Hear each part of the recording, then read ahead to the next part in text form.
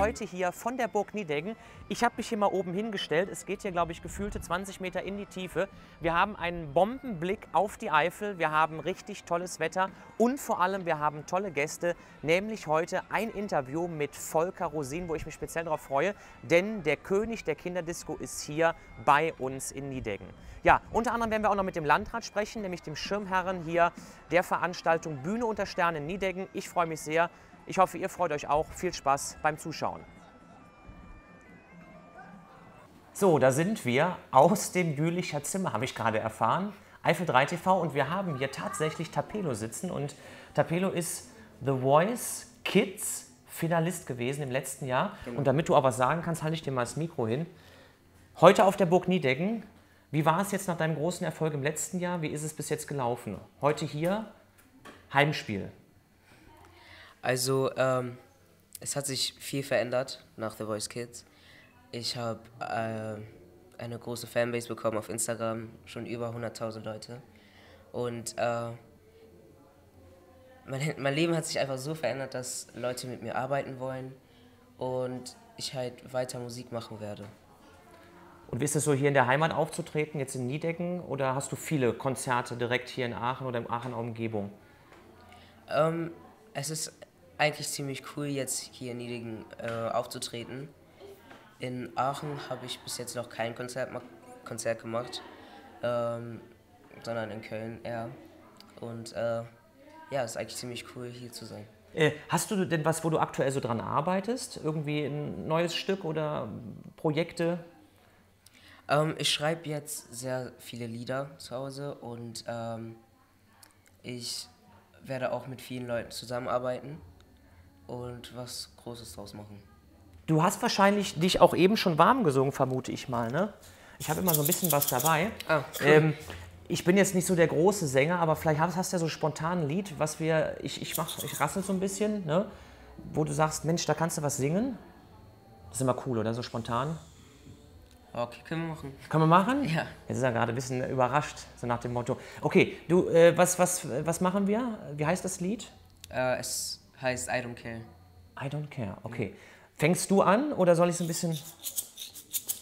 Fang du erstmal an. Okay, du musst mir nur sagen, wie schnell ich sein muss. Das ist jetzt äh, ist natürlich entscheidend, sonst mache ich ja was verkehrt. Bisschen schneller. We at a party we don't wanna be at And I don't ever wear a suit and tie Wondering if I could sneak out the back Nobody's even looking me in my eyes. Can you take my hand? Finish my drink, say, shall we dance? Hell yeah. You know I love it, did I ever tell you? You make it better like that. Don't think I'm feeding at this party. Everyone's got so much to say. Yeah, I always feel like I'm nobody. Mm, who wants to fit in anyway? Cause I don't care when I'm with my baby, yeah.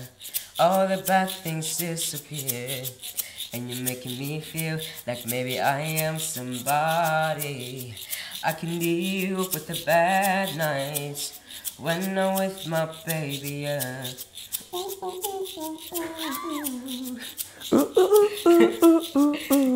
Sehr gut.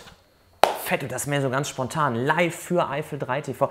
So, wir haben uns jetzt mal hier in die Loge begeben. Wir haben jetzt hier einen richtig tollen Blick auf die Bühne, wo gleich Volker Rosin auftreten wird. Und zu meiner Rechten steht der Herr Speltan, der Landrat des Kreises Dürn und der Schirmherr der Veranstaltung, Bühne unter Stern in Niedeggen. Und zu meiner Linken Herr Murat, der Veranstalter der ganzen Sache der das hier initiiert hat. Aber erstmal Speltern Sie als Schirmherr.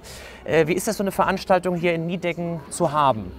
Ja, das ist in jeder Hinsicht eine hervorragende Entwicklung. Zum einen profitiert Niedecken, profitieren der Kreis Nürnberg, die ganze Eifel davon, dass Menschen auf uns aufmerksam werden, die uns bisher nicht auf dem Schirm hatten. Zum Beispiel gestern waren Menschen extra aus Hamburg angereist, um hier äh, Andreas Burani zu sehen. Bei Jamie Cullen waren sogar Menschen aus der Schweiz äh, und überall hergekommen. Äh, das ist ein Riesenfund, auch allein aus der Gründen der Wirtschaftsförderung. Und natürlich wertet es auch unsere Burg ein Stück weit auf. Äh, und nicht nur in den großen Städten, sondern auch in der sogenannten Provinz kann Großartiges bewegt werden. Und wie kommt man auf äh, so eine Idee, Herr Murat, das auf der Burg Niedecken zu machen, so eine große Veranstaltung mit diesen Topstars? Ja, die Idee ist ja nicht neu. Es hat es ja hier schon gegeben äh, auf der Burg. Und äh, ich bin froh, dass man mich dann auch mal irgendwann mit ins Boot geholt hat. Wir machen das ja hier in Kooperation. Das ist eine wunderbare Zusammenarbeit. Und die Burg selber, das muss man wirklich sagen, bietet eine ganz ausgezeichnete Infrastruktur, ist verkehrstechnisch sehr gut zu erreichen. Und äh, die Stars, die hier sind, sind auch alle total geflasht ähm, von allem, was sie hier sehen, von der Atmosphäre. Und einige versprechen sogar schon wiederzukommen. Äh, was ist denn für die Zukunft geplant, fürs nächste nächstes Jahr. Wissen Sie das schon was, Herr ja, Speltan? Die, die Tradition der Festspiele hier geht ja schon äh, in das Jahr 1923 zurück. Da hat es hier erstmalig Aktivitäten gegeben. Die Burg gehört dem Kreis und wir sind natürlich dankbar, mit Herrn Murat einen sehr erfahrenen äh, Menschen gefunden zu haben, der mit der Region verbunden ist und der gleichzeitig den Charme hat, Künstler auf unsere Region aufmerksam zu machen. Wir arbeiten extrem gerne mit ihm zusammen. Und wir verlassen uns da ein Stück weit natürlich auf sein Urteil, was passt hier. Wir müssen besondere Rahmenbedingungen beachten. Die Burg ist zum einen sehr charmant als Austragungsort. Jeder schwärmt vom Flair. Auf der anderen Seite muss jedes einzelne Element der Bühne, jeder Stuhl, muss händisch hineingetragen werden, weil im Mittelalter war man ja nicht auf Konzerte vorbereitet, sondern hat mal die Burg gebaut, damit man sie möglichst schwer erreichen kann, besser gesagt, besser verteidigen kann. Und diesen Umständen Rechnung tragend wollen wir natürlich ein passendes Programm weiterentwickeln. Und da haben wir den Besten bekommen, äh, der uns da helfen konnte. Und deshalb sind wir dankbar, dass wir hier eine langfristige Zusammenarbeit vereinbart haben. Herr Mohr, das heißt, Herr Speltern spielt den Ball wieder an Sie. Mit wem können wir denn im nächsten Jahr rechnen? Gibt es da schon Gespräche? Also zunächst einmal müssen wir 50 Prozent von dem, was der Landrat gerade gesagt hat, abziehen. Nein, ich muss da also wirklich bescheiden bleiben, bin ich auch. Und, äh, aber es macht halt Spaß. Und äh, ich denke, dass es immer eine Herausforderung bleiben wird, Stars darauf aufmerksam zu machen, dass es auch in der sogenannten Provinz wunderbare Spots gibt, in denen man tolle Konzerte geben kann. Und das ist natürlich ein Stück weit viel Arbeit, ist auch viel Glück dabei, selbstverständlich. Und die Mischung muss stimmen. Wir haben das ja jetzt gesehen, wir haben ein Festival Reigen in dieser Region. Wir hatten auch gestern wieder viele Paralleltermine. Dennoch war unser Konzert mit Andreas Burani ausverkauft. Will sagen, stimmt die Qualität, kommen die Menschen. Das ist eine Herausforderung, aber der stellen wir uns alle sehr, sehr gerne, weil wir von der Qualität unserer Veranstaltung auch überzeugt sind. Qualität, das ist immer so ein Zauberwort, die ist für alles andere entscheidend und äh, der Rest zählt weniger. Herr Speltan, jetzt gleich tritt Volker Rosin auf. Hand aufs Herz, großer Volker Rosin-Fan.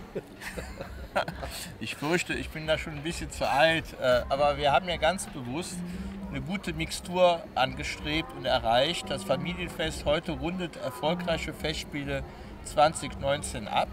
Und ich bin der Meinung, wir müssen jeder Zielgruppe auch ein vernünftiges Angebot entgegensetzen. Das oberste Merkmal ist Qualität. Und Volker Rosin auch wenn ich jetzt nicht jede seiner CDs äh, Tag und Nacht höre, ist aber dafür bekannt, dass er sehr empathisch, sehr wertschätzend gerade auf diese Zielgruppe der Kinder und Familien zugeht. Und deshalb sind wir dankbar, dass er heute bei uns ist und dass wir somit ein schönes Programm speziell für die Familien anbieten können. Herr Moder, eine letzte Frage. Was wünschen Sie sich für die nächsten Jahre? Für die Veranstaltung natürlich. Viele Zuschauer, gutes Wetter, tolle Konzerte, und äh, dass die Bühne unter Sternen irgendwann einen ganz, ganz, ganz festen Platz im Veranstaltungskalender der Eifel hat. Das ist ein Wort. Ja, immer noch auf der Burg Niedecken und jetzt hier mit unserem großen Interview, auf das ich mich sehr gefreut habe, nämlich mit Volker Rosin, dem König der Kinderdisco. Ist das eigentlich äh, Fluch und Segen, König der Kinderdisco? Oder ist das das ist ein Titel, den wir die Kinder verliehen haben. Nicht? Irgendwo, äh, ich bin ja einer der meistgespieltesten Kinderliedermacher in Europa und irgendwie kam dann mal so der Spaß auf. Naja, es gibt ja den Jürgen Drews, der König von Mallorca und äh, du bist für die Kinder eigentlich so der König und ich finde das jetzt nicht schlimm. Also mir macht das Spaß, ehrlich gesagt. Ich kann damit leben. Das ist, das ist wichtig. Und wir sind ja heute hier auf der Burg Nien. Wir haben gerade eben schon mal ein bisschen geguckt, Volker. Äh, einmalige Atmosphäre. Also ich muss sagen, sensationell. Äh, das ist wirklich schön und ich freue mich sehr auf den Auftritt gleich, weil man hat einen tollen Blick auch und äh, ja, es fühlt sich einfach auch schön an, ehrlich gesagt. Auch als Künstler. Nicht? Man steht ja auf vielen Bühnen dieser Welt und äh, wenn man dann wirklich mal so was ganz Besonderes hat, ja, dann ist man auch ein bisschen aufgeregt. Was steht aktuell so bei Volker Rosin an? Du bist viel unterwegs, habe ich gesehen. Genau. Gestern warst du in, Gott, wo war das denn Das, eigentlich noch? das war in Erzen auch einer Burganlage. Das ah, tatsächlich- da bist du ja schon gewohnt jetzt. Zwei. Tage hintereinander, das war eine Burg, äh, Domänenburg in Erzen, das ist bei Hameln. Und äh, ja, jetzt geht es erstmal ein bisschen in ein paar Tage in Urlaub äh, nach diesem Auftritt hier.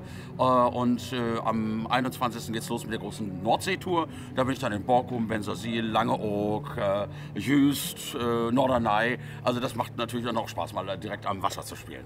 Das heißt noch lange nicht vorbei. Bei dir geht es richtig gerade erst los, so muss es sein. Mensch, Volker, kennst du Monschau? Äh, na klar, Monschau liegt in der Eifel, ne? Richtig, genau, korrekt. Und da gibt es was ganz Spezielles, was du äh, kennst. Also, äh, da gibt es so was zum Essen. Äh, okay, belegtes Brötchen?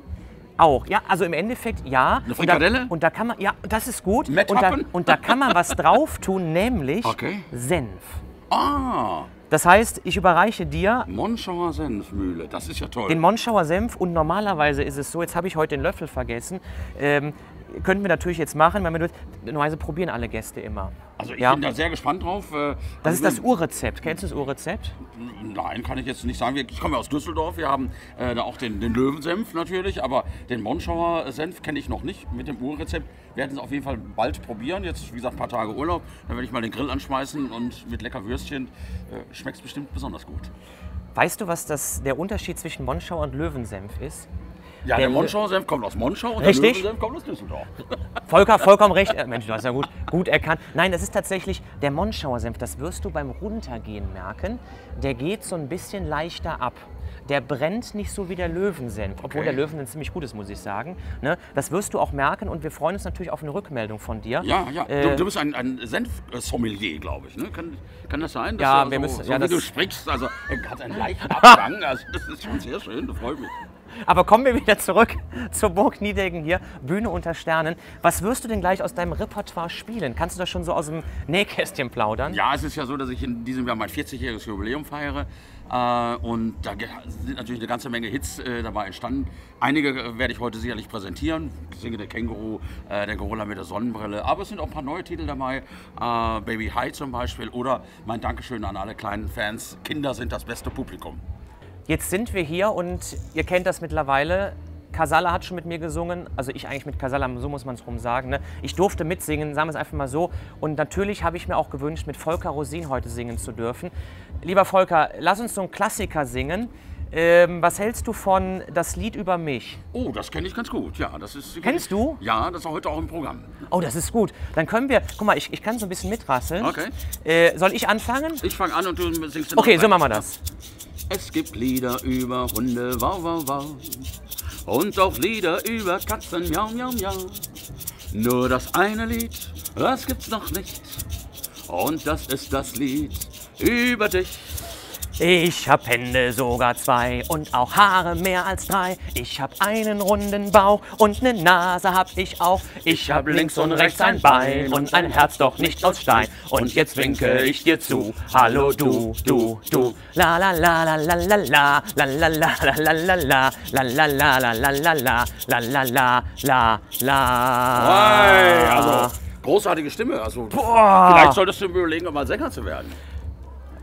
Ja, mal gucken. Das ist auch. Marco, ich muss ja dazu sagen, äh, es ist ja so, du hast ja Mama Lauda gecovert und das sehr erfolgreich, muss ich sagen. Das kommt ja in Kinderkursen wirklich Bombe an. Ja, aber eine Sache, äh, ich gebe unter anderem auch Kinderkurse. Ne? Ich tanze auch sehr viel mit deinen Liedern. Aber was fehlt, vielleicht so ein kleiner Tipp, hör mal, Johnny Depp, ne? Das noch, das noch auf kindermäßig, das wäre, hast du auch schon drüber nachgedacht, oder? Äh, ja, es gibt einige Vorschläge. Johnny Depp, aber auch der der Helikopter äh, 17 gibt es da, glaube ich, auch. Also es gibt da so einiges, äh, aber es soll eigentlich auch nur so ein kleiner Ausflug äh, in die Ballermann-Szene gewesen sein. Also will jetzt nicht als der äh, Ballermann-König der Kinder in die, in die Annalen eingehen, also auf keinen Fall.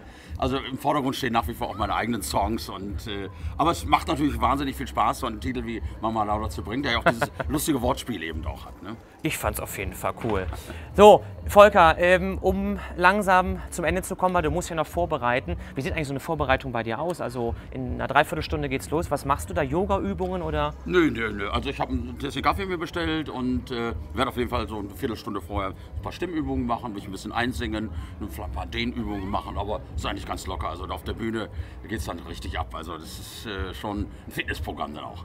Da merkt man den Profi. Möchtest du unseren Eifel 3 TV-Zuschauern vielleicht noch irgendwas mitgeben, einen coolen Gruß in die Eifel? Das, da hast du jetzt die Möglichkeit. Ja, also ich muss sagen, äh, ich finde es unheimlich toll, dass ihr in einer Gegend wohnen dürft, wo andere Urlaub machen. Äh, die Eifel ist wunderschön und äh, ja, bleibt mir gewogen und ja, singt mehr mit euren Kindern, spielt mit euren Kindern, nehmt euch Zeit für eure Kinder, denn Kinder sind unsere Zukunft und ja, die Kinder haben es auch verdient. Mit diesen Worten, ich habe nichts hinzuzufügen, wünsche ich noch viel Spaß hier auf der Burg Niedeggen. Volker ist heiß, der will gleich auf die Bühne drauf. Ich danke euch und ich habe mit Volker Rosin gesungen. Shake it, baby, shake it. Habt ihr eure Stimmen mitgebracht? Dann könnt ihr natürlich auch alle mitsingen. Und tanzen wollen wir natürlich auch, das ist ja ganz klar. Und ich würde sagen, wir legen sofort los. Und zwar volle Kraft voraus. Bitte Musik ab! Und alle Arme in die Höhe.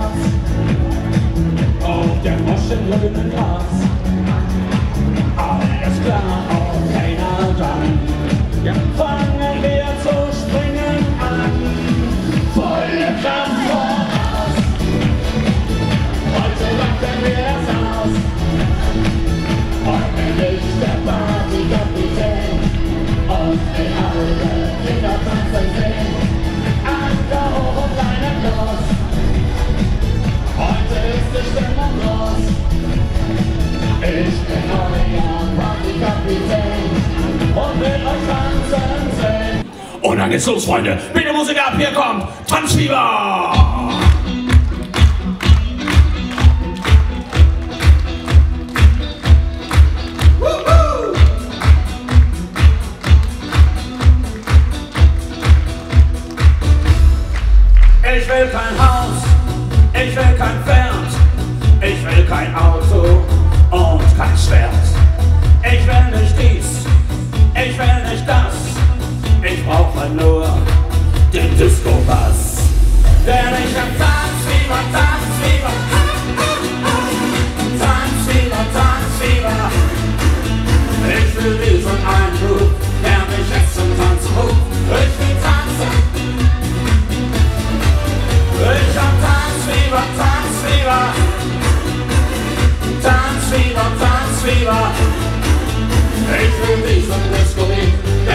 Jetzt zum zieht. Ich will tanzen. Ich will tanzen. Ich will kein Boot, ich will kein Geld, ich will kein Rad, ich will kein Zelt, ich will nicht dies, ich will nicht das, ich brauche nur den Disco-Bass.